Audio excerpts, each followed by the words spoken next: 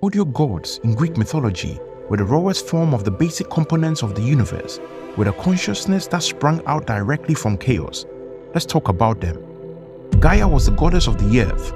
She was one of the primordial elemental deities born at the dawn of creation. In fact, she was the second to have arisen after chaos.